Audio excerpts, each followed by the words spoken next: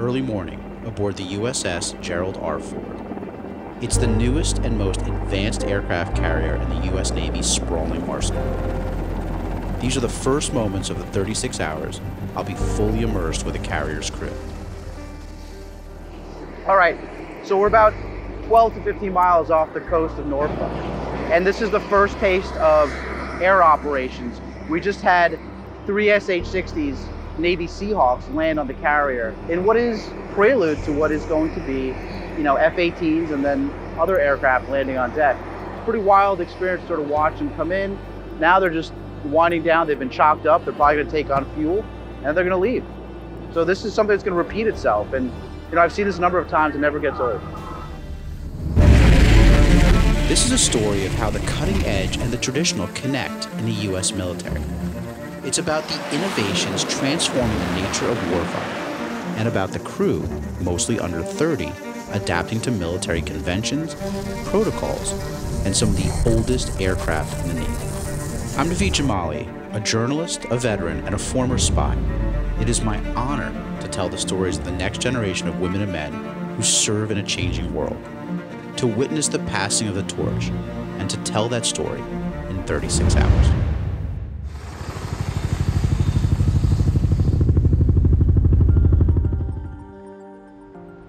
People often described aircraft carriers as floating cities.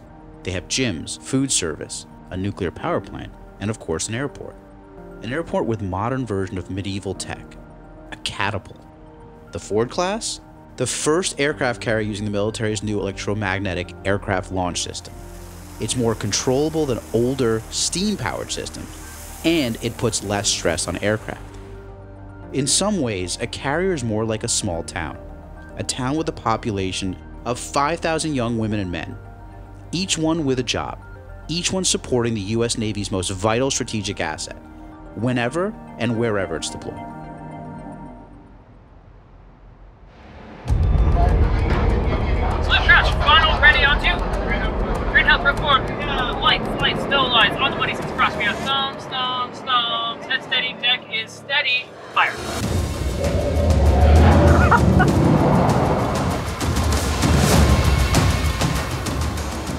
Never gets old.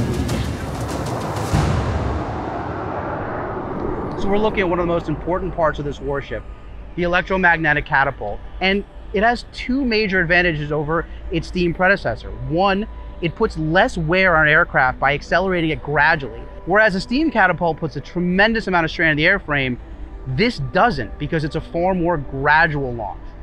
The sum result, those aircraft last longer the superstructure. On the Ford class, it sits almost 140 feet further back towards the carrier than its predecessor. We scoot around here. This is a Nimitz class, it's the Bush. And if you look at the superstructure, the island, you see it's far more closer to the middle, 140 feet back. Why is that? Because it gives you more flight deck space for aircraft storage and aircraft operation. On the flight deck, we are now underway. Covers no longer required on the flight deck. Ship self-defense is a priority regardless of whether we're leaving port in the United States or abroad. And there's a lot of very visible, obvious things that go towards that, whether it's crew service weapons over here, or it's a small Coast Guard boat circling, providing an escort. This is a slow, big ship. It provides a juicy target, and you know, you gotta take that seriously. This is also just good practice for deploying overseas. So you got 5,000 people on this ship. How do you feed all those people every single day, three, four times a day? Well, I mean, it's a strenuous process, but we make sure we keep it going. Is this a 24-hour operation here? Almost. And you've been doing that, how many years have you been doing this for? This June made 15 years. So you've always been a culinary specialist? I have. So I've always been a creative type person, and I feel like being a food service gives me that option to be as creative as possible, whether it's cake decorating, just uh, basic food presentation on the plates. I enjoy that stuff, so that was a big deciding factor for me.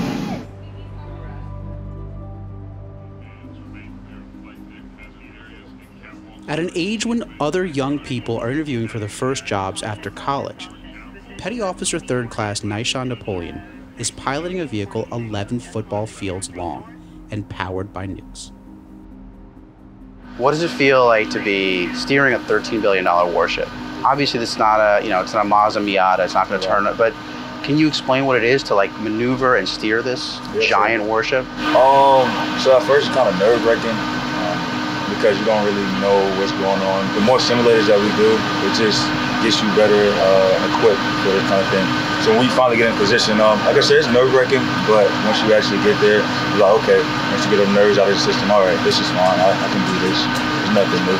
Do you love being at sea now? Yes, sir. Yes, sir. It's uh, basically like a peace of mind. You get to stand up on watch and just think about things, talk to people, learn new things.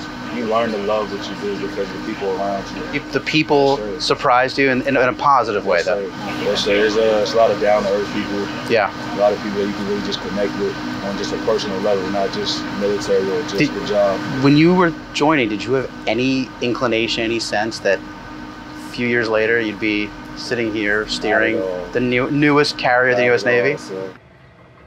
Guiding a sailor like Nishon from boot camp to the helm of an aircraft carrier is an important task of leadership.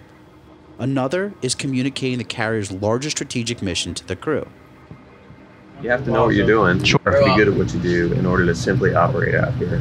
Um, flying aircraft on aircraft carriers is a pretty unforgiving business. Uh, we don't need to be engaged in active war in order to be focused on the important thing uh, because the, our environment demands it just to operate safely. How do you convey to these people that, to the Amer- American people, that we're not at war, yet training in these kind of operations, kind of exercise are fundamental Yeah. to deterrence, to, to our national security? Yeah, first and foremost, we need to be uh, ready to do our jobs so that if the president or the secretary of defense is thinking about moving us to a place in the world, we're ready to go and we're a credible force. Um, the second thing is that just by our presence in different regions of the world, we tend to reassure our allies. You know, we kind of create some stability and security in that area. There's a little bit less like worry on the part of the folks that we're allied with because they see, okay, here is the United States Navy. We're obviously a very visual presence. You know that there's there's a few things in the world that look like an aircraft carrier when we when we crest the horizon and you see us and the air wing that we embark with. Uh, it's a it's a undeniably impressive sight and impressive action that happens Right. on these ships.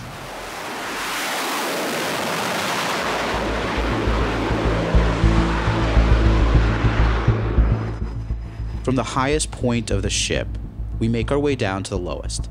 That means more maze like corridors to navigate and more doors and hatches to wind our way through. The Gerald R. Ford is a massive target, and defending itself from threats starts here, in the armory.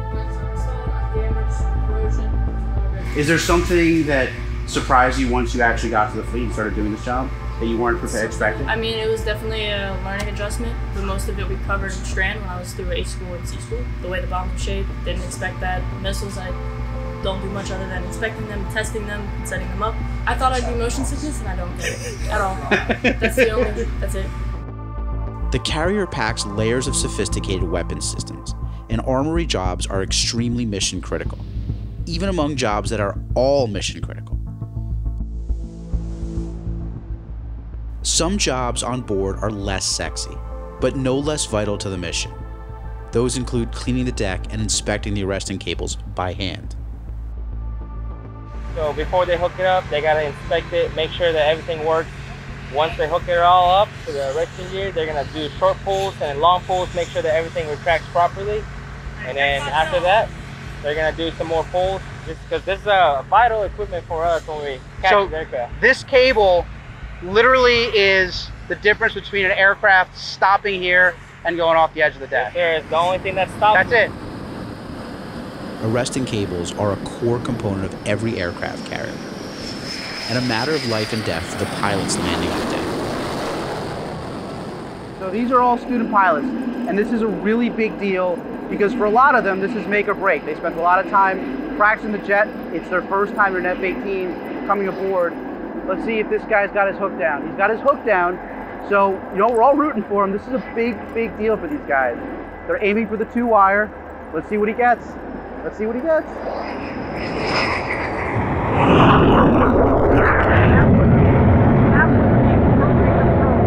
got the two wire, which is exactly what they're looking for. That's a big deal. I'm personally rooting for them because this is a culmination of years of preparation. They've got to qualify landing in their Super Hornets on this carrier to make it to the fleet. They're all part of the fleet replacement squadron. For them to advance, they've got to nail these shots. And you know, you can see everyone around. Everyone here is rooting for them as well. And you know, you can definitely feel when they trap, there's a sense of excitement.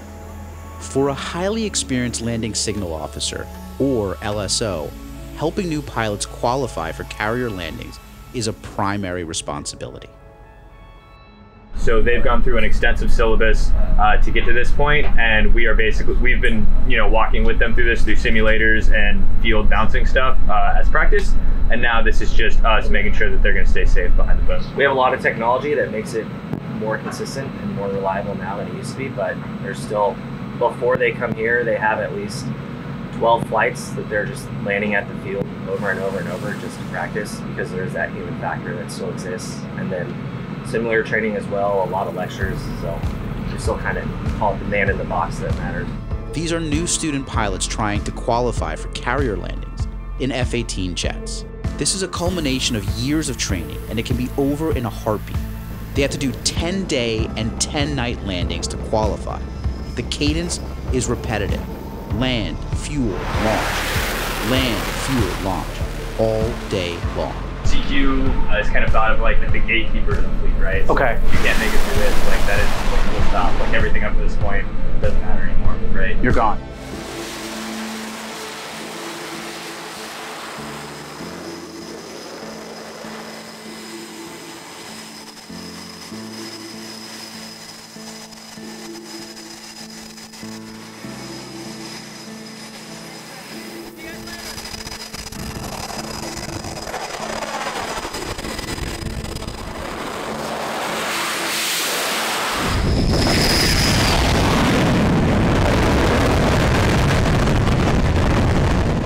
Situational awareness isn't just for pilots, it's for flight deck crews as well. The flight deck is the most dangerous place on an aircraft carrier. Since we've been here, there have been two medical calls. You can feel the heat from the exhaust. Even idling, the sound of a state of the art jet engine up close is like nothing you've ever heard. Then suddenly, the jets turn and taxi into place. They get hooked up and they launch. Even behind the blast fence, the jet wash and the heat hits you head on. It's intense. It's like being in a hurricane on the surface of the sun. Everyone has to trust that everyone else is doing their job. Not to mention, we're doing this in perfect weather. Imagine the same scenario, only with gale force winds. I did a, deploy- a deployment where we were off the coast of Norway.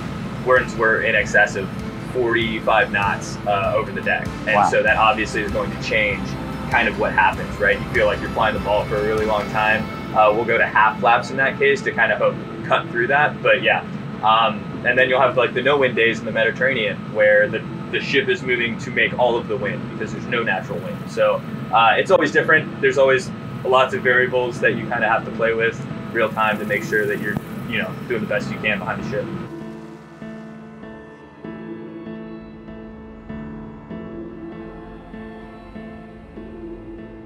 Even experienced pilots, for whom landing on a carrier deck has become second nature, they rely on the knowledge and training of LSOs and other flight deck crews.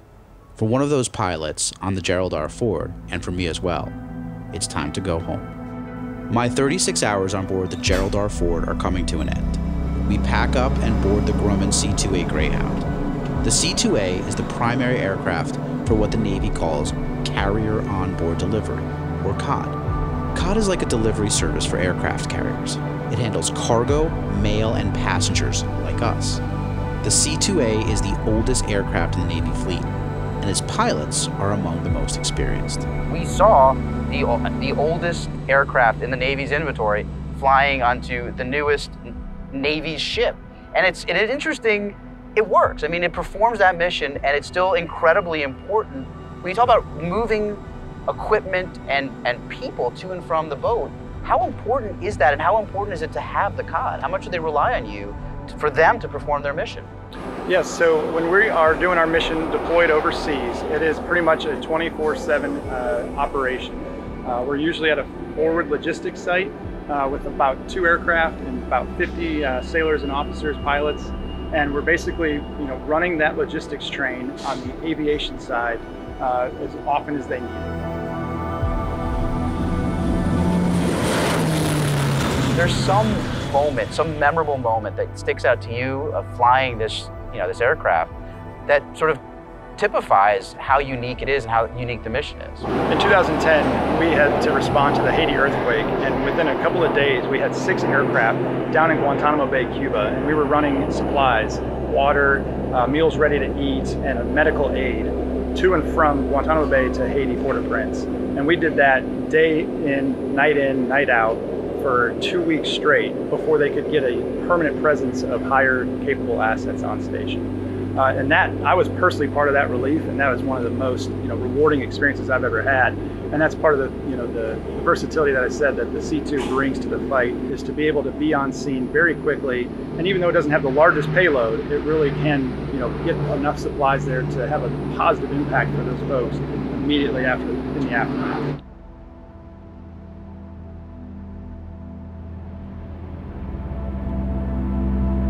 For one COD pilot, his journey with the C-2A is coming to an end. He's being reassigned and he gets a typical Navy pilot send-off.